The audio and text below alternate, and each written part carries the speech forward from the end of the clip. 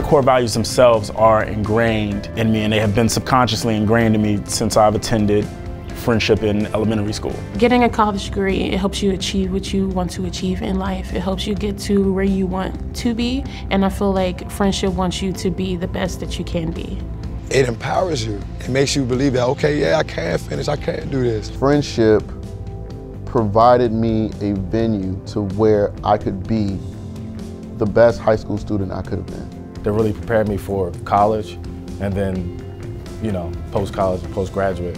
Friendship was special because they had just, I mean, incredible teachers. Because of those teachers, I feel like I've been developed and shaped into like who I am today. They treated me and gave me that support I needed. It goes beyond teaching in the classroom, the ABCs. It's how you doing today? What's going on at home? How can I help you? That human capital, like that's the greatest secret that friendship has is the teachers. And I think that's what friendship is tasked with is to recognize these gems inside of their students. The mission is always to graduate self-sufficient, well-rounded people. And, you know, at the end of the day, that's what gets accomplished.